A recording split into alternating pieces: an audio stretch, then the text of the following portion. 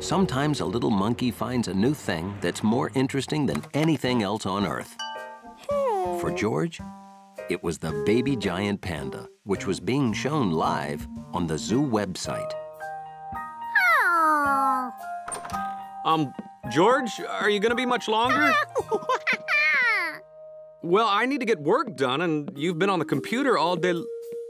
Oh, is that what you've been watching? The Panda Cam? hey, you know those pictures come from the park zoo right down the block.